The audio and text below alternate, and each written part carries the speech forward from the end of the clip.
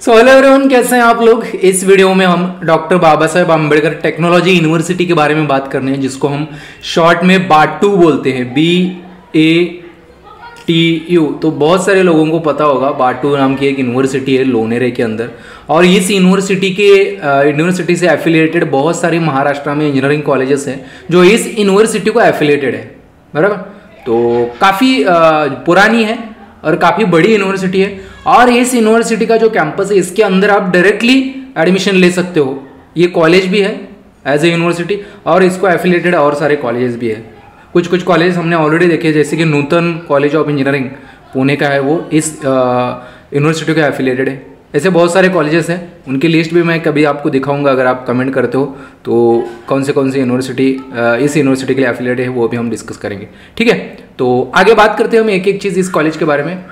तो यहाँ पर बाबा साहेब आम्बेडकर टेक्नोलॉजी यूनिवर्सिटी नाम तो बता दिया मैंने आपको। इस्टेब्लिशमेंट देख सकते हो आप 1989 ठीक है? Three zero three three D code है और ये ऑफ़िस का कॉन्टैक्ट है। Okay D region Mumbai district Raigad, Vidya Vihar pure post office Lonere. और यहाँ पर पिन कोड और वेबसाइट का एड्रेस दे, देख सकते हो आप विज़िट कर सकते हो। University managed university managed status यहाँ पर देख सकते हो नॉन ऑटोनोमस और नॉन माइनॉरिटी ओके तो आगे बात करते हैं हम कैसे आप इस कॉलेज का लोकेशन कैसे पहुँच सकते हैं। तो यहाँ पे वीर नाम का एक रेलवे स्टेशन है मानगांव तालुका में कोकण रेलवे के अंडर आता है वो। आठ किलोमीटर दूर है वहाँ से कॉलेज लोनेरे बस स्टॉप से। सिर्फ़ डेढ़ किलोमीटर और मुंबई का जो एयरपोर्ट है, वहाँ से 160 किलोमीटर। बीटेक डिग्री मिलेगी आपको और ये एफिलिएटेड मतलब इसी कॉलेज के लिए एफिलिएटेड है इसका कॉलेज ठीक है?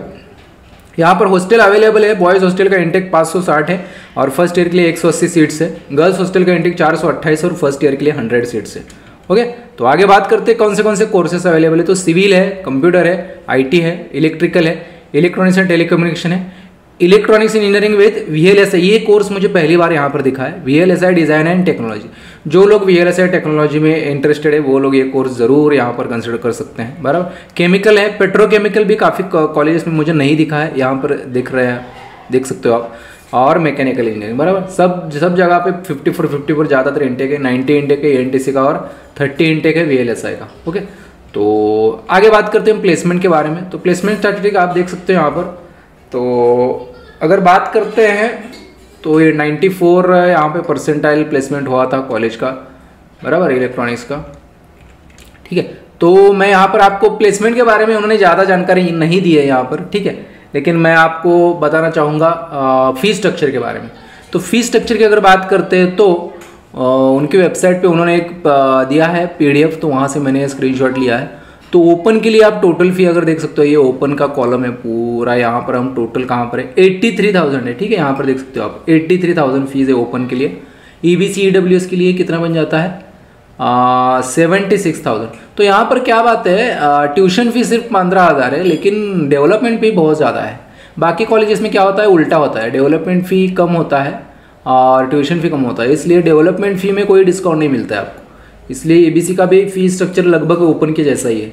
उसके बाद एक serviceman T F W S का सिक्सटी एट थाउज़ेंड और V J N T S B C O B C के लिए forty seven thousand S C S T के लिए seven thousand two hundred okay तो अब देखते हैं यहाँ पर कट ऑफ़ पिछले साल का कैप राउंड वन का कट ऑफ़ मैं आपके साथ शेयर करता हूँ, बराबर?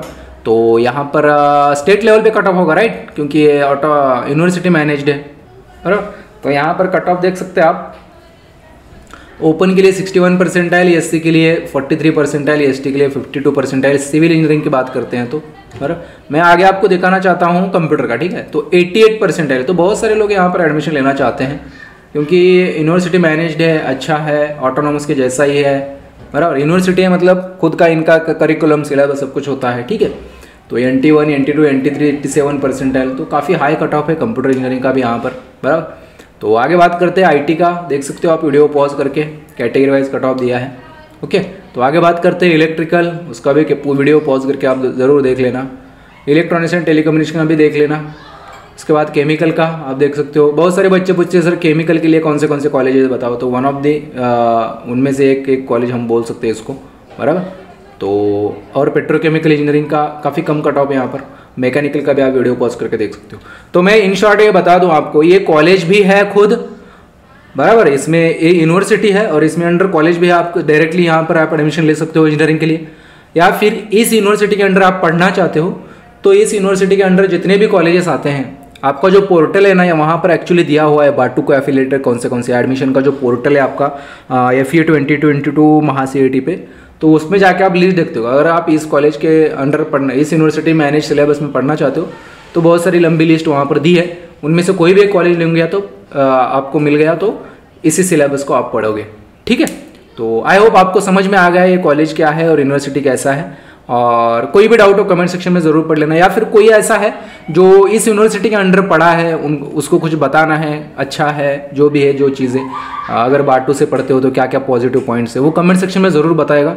क्योंकि बाकी जो न्यूली एडमिशन लेने वाले बच्चे हैं, उनको ये ज़रूर हेल्प हो जाएगा। और इस कॉलेज के बारे में जो भी पता है, अगर किसी को ऑथोराइज इन्फॉर्मेशन पता है तो ज़रूर कमेंट में प्लेसमेंट वगैरह कैसा है, वगैरह वो बता देना कमेंट में, ठीक है? तो रुकते हैं यहाँ पर यार। वीडियो को हेल्पफुल लगा हो तो लाइक ज़रूर कर देना चैनल को सब्सक्राइब कर लेना और मिलते हैं एक और ऐसे ही इन्फॉर्मेटिव वीडियो के साथ।